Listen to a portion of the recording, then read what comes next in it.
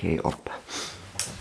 Ähm, wir sind heute hierher gekommen, um ein Interview zu führen über Polizeiübergriffe der Polizei Altötting. Und Sie haben ja schon eine Vorgeschichte. Sie haben ja schon mal einen Polizeiübergriff erlebt, der Polizei Altötting, den man auch auf YouTube finden kann. Das war in Teising. Können Sie vielleicht mal zu Beginn unseres Interviews das nochmal kurz rekapitulieren, wie das damals war? Damals war das auch so, da sind 100 Polizisten in der Früh, also circa 100 Polizisten, ich kann jetzt nicht sagen, waren so viele, es waren halt wahnsinnig viele Polizisten auch. Die sind uns damals schon um 6 in der Früh, haben uns die das Haus gestürmt, damals ist es gegangen um die Autobumsergeschichte von Aldedding.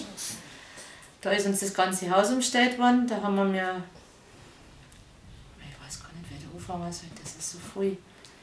Das ist Beschreibst vielleicht einfach mal, ähm, wie diese Hausdurchsuchung war. Die war damals Wie so- viele Leute und wie die sich benommen haben. Die sind eine mit den Schuss, schusssicheren Westen und mit den Waffen und haben geschrien, raus, raus, raus, die sind bewaffnet. Sie haben mir erzählt, die sind ein, praktisch einfach eingebrochen. Die haben uns die Haustür eingehauen, herunten. Also wir haben ja da so, so eine Sechsfachverglasung gehabt am Haus, an der Haustür. Und anstattdessen die mittlere Scheiben zum Ei zum Hand, dass man an die Türklinken kommt, ist erst die obere eingehauen worden. Und dann ist noch dazu die untere worden. Also die haben insgesamt haben uns die zwei Scheiben eingeschlagen. Und dann ist das ganze Kommando da in das Haus eingestürmt, wie eine Horde Tiere, wenn man so sagt. Und Sie waren noch im Bett gelegen oder wie war das? Ich habe erst gemeint, weil es geschäbert hat unten, dass vielleicht Katze oder was, dass Katze irgendwas umgeschmissen hat und bin halt dann auf und bin aus dem Schlafzimmer raus und wieder dann an der Treppe, weil es war im ersten Stock, wieder dann an Treppen schon gesehen habe, sind dann die Polizei, eine ganze Mannschaft auf und haben schon geschrien, raus, raus, raus, die sind bewaffnet. Also die sind uns eine wie, Das war im Ort das ist in Teising gewesen, das war 2007, 2007. Und 2007. wie weit ist Teising von Altötting entfernt? circa 5 bis 7 Kilometer. Und jetzt kommen wir zu dem äh, aktuellen Ereignis. Das ist ja gerade am Karfreitag wieder ein Polizeiübergriff gewesen. Genau richtig. Berichten Sie mal dazu. Da war es ja so, da hat um, auf die Nacht um halb zwölf hat die Polizei gelitten und hat nach meinem Cousin gefragt, der momentan ab und zu bei mir da ist. Dem ist sein Vater verstorben, jetzt ist der Cousin ab und zu bei mir da und dann hat die Polizei gefragt gehabt, wegen am Leonhard. Dann habe ich gesagt gehabt, der ist momentan nicht da und dann, ob sie bitte schauen dürfen, wo er schlaft. Da habe ich mir nichts gedacht dabei und habe gesagt, ja bitte, gesagt, der liegt normal auf der Couch.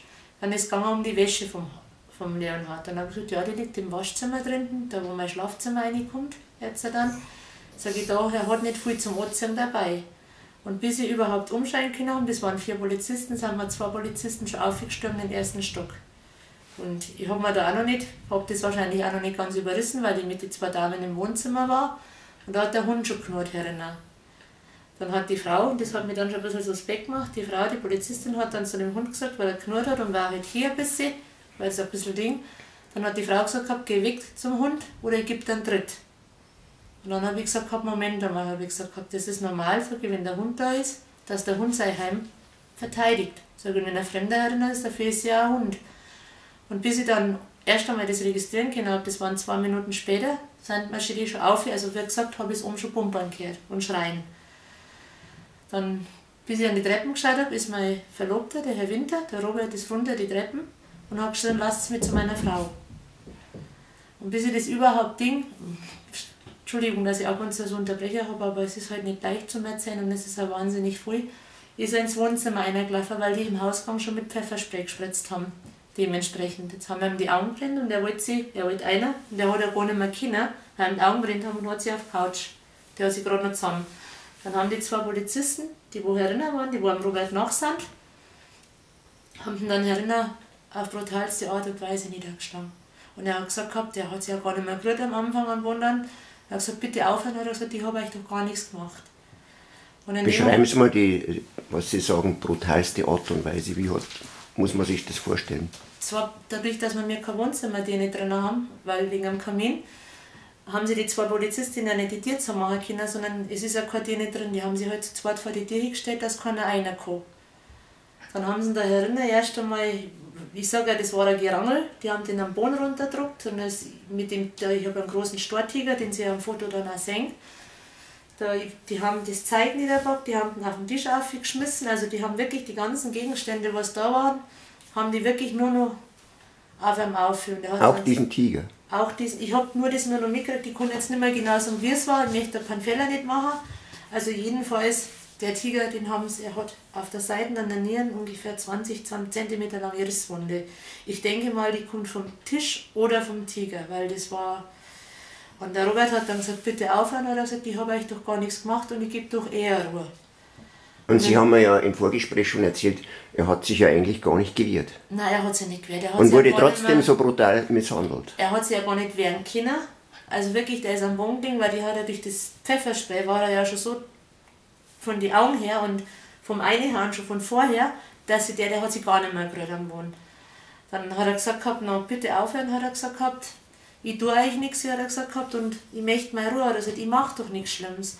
In dem Moment packt der Polizist das Pfefferspray nochmal in die Augen und vielleicht in einem Abstand vom Gesicht, so circa so einer Höhe, spritzt er das Pfefferspray in die Augen rein und dreht ihm alle zwei ins Ding rein, auf den Brustkorb auf. Und immer wieder mit den Füßen einen Schlag nach dem anderen. Und dann habe ich irgendwann einmal gemerkt wir haben draußen geschrien, sie sollen ihn bitte stehen lassen, er hat nichts gemacht. Den, oh, Entschuldigung, das ist voll. In dem Moment habe ich gemerkt, dass sich der Robert am Boden schon gar nicht mehr bewegt. Ich habe mir ehrlich in dem Moment gedacht, jetzt ist es vorbei mit ihm, weil er sowieso immer Schwierigkeiten hat von der Gesundheit her. Dann habe ich gesagt, ich rufe einen Notarzt da, weil so geht das nicht. Dann sind sie hergegangen, dann haben sie zu mir gesagt gehabt, nein, also die haben mich förmlich angeschrien, nein, das machen sie also nicht. Also die Polizei Altötting verbietet ihnen den Notarzt dann Ja, weil ich gesagt habe, weil er sich nicht mehr rührt, ich möchte bitte schön einen Notarzt da haben, nein. Aber in einem Ton, dass ich mir ehrlich denke, mir haut Pfetzen aus. Also sowas macht man nicht. Man kann mal Anstand, weil Anstand selber, man braucht nicht mehr von Anstand reden, weil das, was sie sich da geleistet haben, das merkt eigentlich dann jeder, dass das kein anständiger Mensch macht das nicht. Der ist einsichtig und sagt, okay, mache ich mal einen Notarzt, weil das ist doch ein bisschen zu massiv gewesen, was sie sich da erlaubt haben. Aber nein, und dann haben sie mir das T-Shirt, die haben das T-Shirt komplett runtergerissen das ist dann nur noch so ein Fetzen gewesen, was überblieben ist. Dann haben sie gewartet auf die Verstärkung und haben einen Robert mit dem Achter da, also mit dem, dem die Handschäler, sind sie hergegangen, die haben dem aber dann nicht aufgekommen am Boden. Da ist ein hochgehalten, hat er nicht Schultern, dass er wenigstens Ding, sondern die haben dann die Handschellen hochgerissen.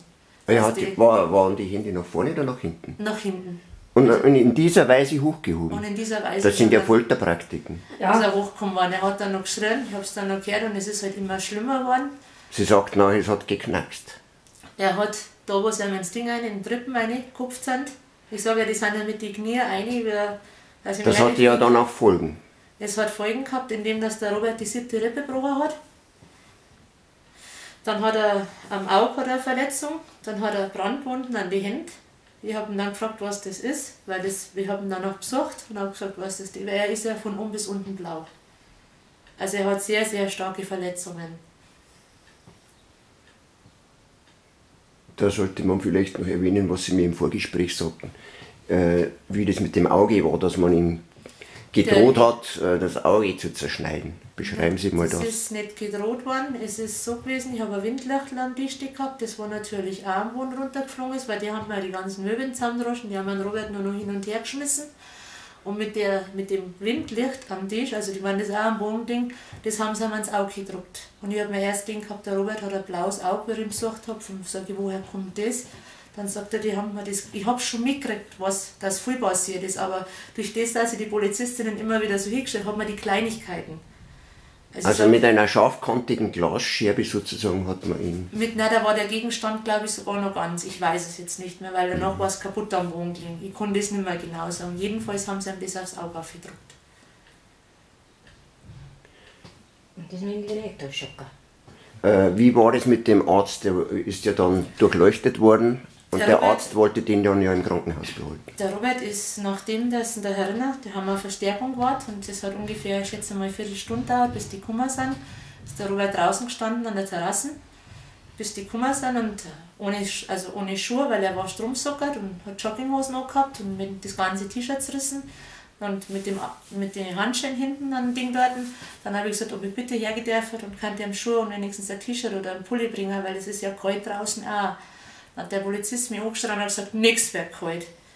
Dann ist mein Sohn hergegangen und hat gesagt, Moment einmal, das, man muss ein bisschen an die Menschlichkeit plädieren, so geht's nicht, hat er gesagt. Und hat meinem, meinem Robert die Schuhe hingestellt. So, ich konnte ihm dann wenigstens noch Jacken oder was, weil es ist wirklich draußen eisig kalt gewesen an dem Tag. Das heißt, eisig, es war kalt. Und ich meine, mit dem nackten Oberkörper ist es natürlich noch kälter. Nein, das ist mir verweigert worden. Danach, es hat, ich meine, das ist jetzt, was Sie da vom Krankenhaus meinen, der Robert ist danach von der PI, weil sie ja durch den Rippenbruch haben sie ins Krankenhaus gefahren.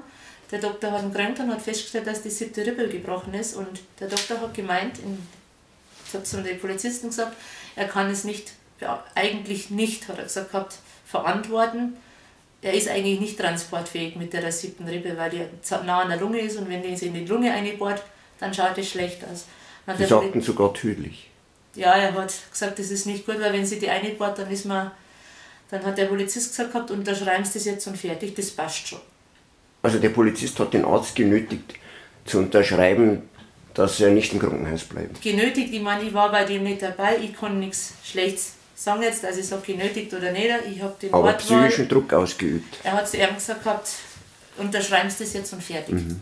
Und somit haben sie ihn mitgenommen. Er ist mit der gebrochenen Rippe und mit den ganzen Verletzungen wieder in die Arrestzelle auf Euleding runtergekommen.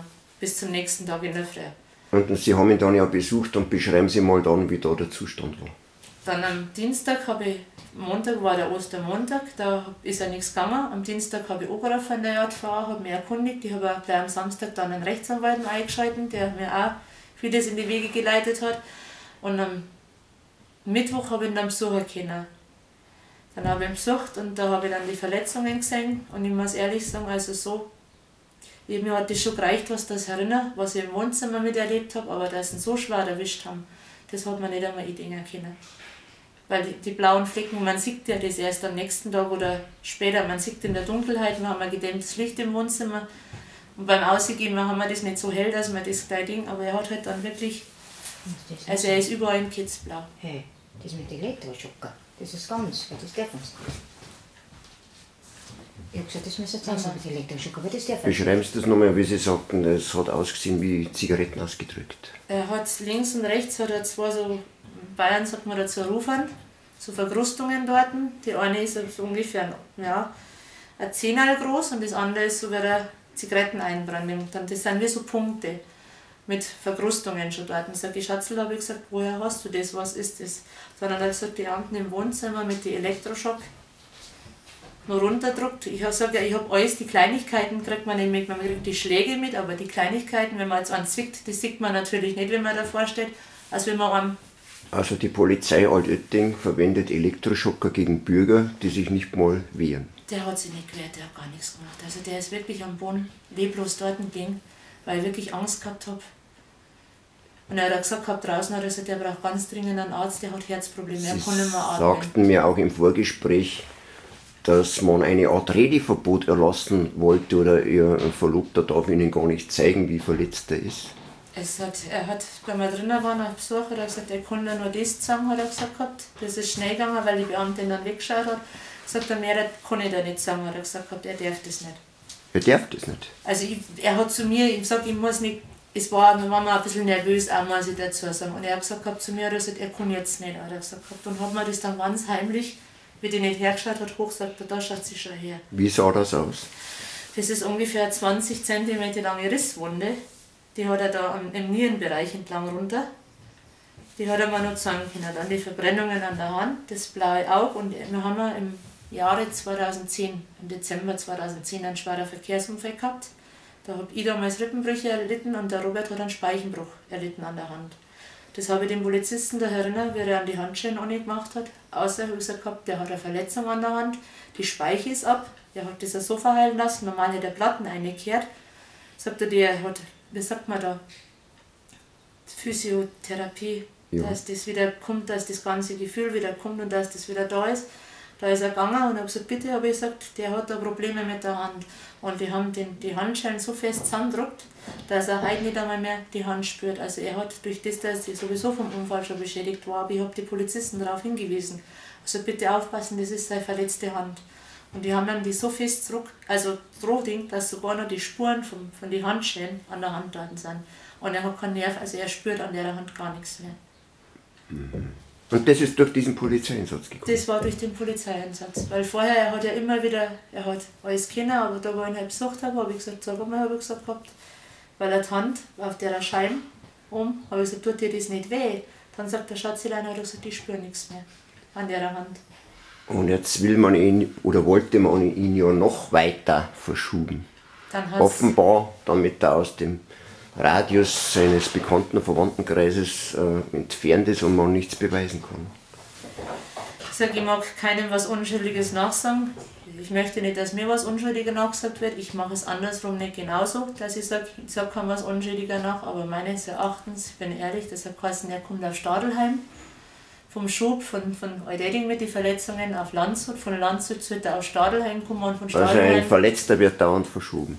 Wird hin und her verschoben. Und für mich ist das halt dann auch so, ich habe es einmal gesagt, sagt er selber drinnen, war, sagt der Schatzler hat gesagt, gehabt, er denkt, dass um die blauen Flecken, weil er hat ja doch am ganzen Körper, er ist übersät mit den Sachen. Und wenn ich dann raus bin aus dem Besucherraum, dann war ein netter, muss ich sagen, ein netter Beamter, mit dem ich dann noch gesprochen habe. Und habe gesagt, ob das möglich ist, weil ich habe bedenkt, ich lege nochmal vor einer kurz Wort ein, dass vielleicht, dass ihn doch noch da lassen. Habe ich zu den Beamten, habe ich mir das erklärt. Sage ich, er hat so viele Verletzungen, sage ich, und eigentlich darf man doch das nicht, dass man den so noch verschubt in dem Zustand. Dann sagt der Mo, war ein ganz sympathischer Mo, der hat dann gesagt, gehabt, ja, hat er gesagt, gehabt, er hat das schon mitgekriegt, wie er am Samstag einer gekommen ist, wie er ausgeschaut hat, wie sie ihn zugerichtet haben. Also er hat das, er hat ja nicht gewusst, wer er so zugerichtet hat, aber er hat gesagt, gehabt, er hat, man hat schon gesehen, dass er so. Kommen wir vielleicht noch darauf zu sprechen, dass es ja mehrere Zeugen gibt und auch ihren Rechtsanwalt. Und wie, äh, was der zur Polizei gesagt hat, wenn Sie das vielleicht noch schildern. Der Rechtsanwalt, den ich am Samstag dann erreicht habe, der hat am Anfang angerufen bei der Polizei und wollte sich erkundigen und dann hat er, also ich sage, ich kann den Wortlaut nicht wiedergeben, weil ich hab, war nicht das Gegenstück am Telefon, da sage ich ja. Und irgendwann einmal hat der, Recht, der Polizist gesagt am Telefon, wenn meinen Sie den mit den gebrochenen Rippen oder den anderen? Dann hat das ja passt mit den Verletzungen der Herren. Die haben ja eine große Auswahl bei der Polizei Altötting. Also normalerweise hätte man wissen müssen, wenn ich sage, der, dann muss ich ja wissen, wer das ist. Und dann ist halt der, der, der, der Rechtsanwalt sauer geworden und hat gesagt, Moment einmal, so geht es ja wohl wirklich nicht. Also der braucht viel Leid für einen Mo. Sagt er, und dann wird er erinnern, weil wir gesagt, die haben mir auch nicht, die haben einen Robert verletzt, die haben mir Möbeln kaputt gehauen. Sagte, das kann es ja wohl wirklich nicht sein. Und dann haben sie ihm keine richtige Auskunft gegeben und der Rechtsanwalt hat mir dann die Spurensicherung vorbeigeschickt zur Tatortsicherung. Dass er Beweise gegen die Polizei da sind, dass das nicht hinterher vertuscht wird oder sagt, ja, der ist da drin ausflippt oder sonst irgendwas, dass man sich das alles schert. Und dann ist aber auch die Tat, die, die Spurensicherung gekommen. Die hat dann zu mir gesagt gehabt, ja, da hat er gesagt, ja, das hat jetzt momentan sind es nur Zeugen, aber es kann ja natürlich passieren, dass sie angeklagt werden. Und da habe ich gesagt, das ist mir egal, sage ich, hier geht es um die Menschlichkeit und da ist mal das Gesetz, Gesetz ist hoch. Wegen was will man sie denn anklagen? Er hat gesagt, momentan sind sie nur äh, Zeuge, in dem Fall, dass ich gesagt habe, die Polizei war so massiv. Aber es kann mir passieren, dass ich danach angeklagt bin. Das ist ja auch schon eine Art Nötigung. Ja. Sie sollen quasi nicht als Zeugin sich äußern dürfen, da wird ihnen schon gedroht, sie könnten ja auch angeklagt werden. Das hat der das Polizist. Erfüllt ja schon wieder den Tatbestand der Nötigung. Hat mir der Polizist noch gesagt gehabt. Und ich habe aber gesagt, es geht um die Menschlichkeit, es geht, das Gesetz ist hoch, habe ich gesagt, aber das, was man am Robert verbrochen hat, sage ich Gegenstände, habe ich gesagt, kann man ersetzen. Sage ich, es tut nicht so weh. Aber einen Menschen und den Menschen, den man liebt, so verletzen, sage ich das. Da kommen wir vielleicht noch am besten mal auf den Tiger zu sprechen. Sie hatten einen großen Porzellantiger und der ist bei dem Einsatz kaputt gegangen und wurde auf ihren Verlobten draufgeschlagen. Also die haben da, die, die haben, der war auf der Couch, die haben mir die Dinge runtergezogen. Die haben da am Boden gehabt, da waren ja dann die Blutspuren. Da ist ja dahin gestanden. Da waren die Blutspuren dann am Boden und, und wir sind runter haben von der Couch, weil er hat sie nicht am Boden, sondern er ist wirklich am, auf der Couch und die haben runtergezogen und haben dann dementsprechend also die haben nur noch auf einem Icon und Icon und Icon. Dass ich mir ehrlich denke, man kann doch man kann es nicht beschreiben mit Worten und es fällt mir jetzt momentan auch ziemlich schwer, das alles wiederzugeben, weil wie gesagt, das ist... Und wenn man schaut, das ist für die Augen vor die Kinder. Weil er war ja da. Ja, das, also, die ganze Familie und ihre Kinder haben dieses Schauspiel mitbekommen. Der Kleine hat es mitgekriegt, der Große hat es mitgekriegt. Wir wollten mehr ein Ding und wie gesagt, die haben uns da das zugemacht, dass keiner reinkommt. Aber die waren alle da, die haben das alle mitgekriegt. Wir sind da am Gang draußen gestanden und haben ja nicht helfen können. Also es war massiv.